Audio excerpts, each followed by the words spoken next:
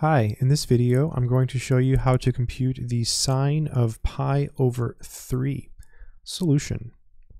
We're going to start by drawing a triangle really quickly. So it looks like this. And with this triangle we'll be able to compute the sine of pi over 3. So this is a right triangle. This angle here is pi over 3. And this angle here is pi over 6. And this is 1, 2, 3, and there's a square root. So if you memorize this triangle, you can compute the sine of pi over 3, the cosine of pi over 3, etc. You could use this triangle together with the following.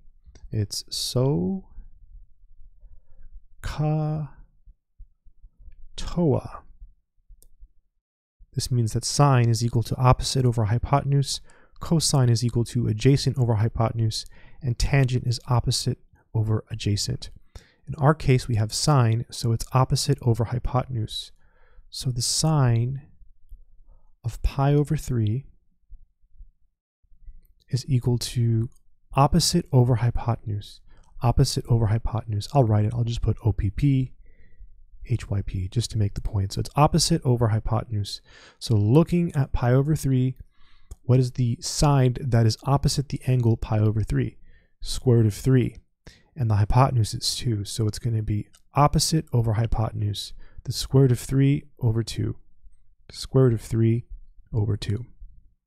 So the sine of pi over 3 is equal to the square root of 3 over 2. And that's how you work it out if you wanted to work it out. My advice would be to memorize this. It's totally worth it. I hope it's been helpful. Good luck.